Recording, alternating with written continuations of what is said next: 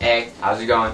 Um, I just like to say this wonderful creation that God has made is just unbelievable.